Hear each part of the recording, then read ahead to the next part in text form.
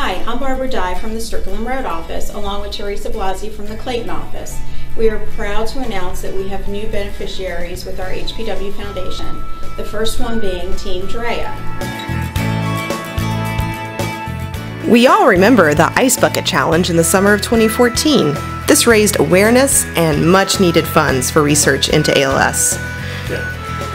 ALS is a neurological disorder that causes increasing muscle weakness and eventually paralysis, which in most cases is fatal. Our brains send signals through our nervous system to make our muscles move. It is the motor neurons that carry these signals. In ALS, the motor neurons in the brain and spinal cord degenerate and die, causing the muscles to weaken and causing the brain to lose control over voluntary muscle movement.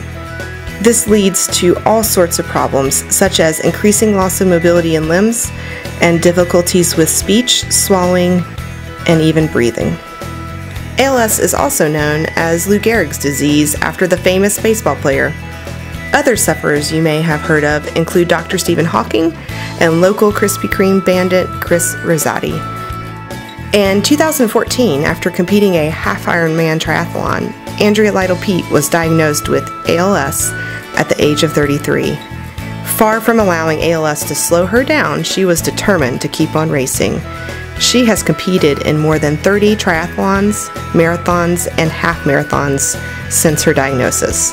In 2015, Andrea set up the Team Drea Challenge, asking friends and family to step out of their comfort zones and compete in a race, raising funds for ALS research.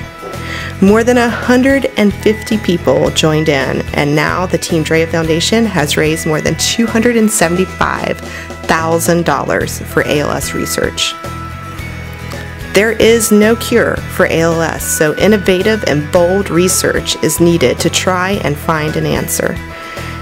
Team Drea supports the ALS Therapy Development Institute in Cambridge, Massachusetts, and locally Dr. Bedlack at the Duke ALS Clinic. I want to use my journey with ALS to inspire others to challenge themselves and appreciate what their bodies can do.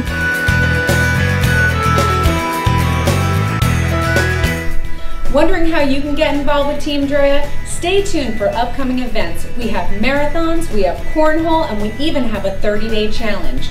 Look for Barb and myself for future HPW upcoming events.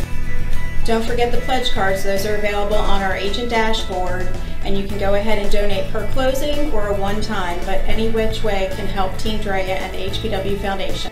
Go Team Drea!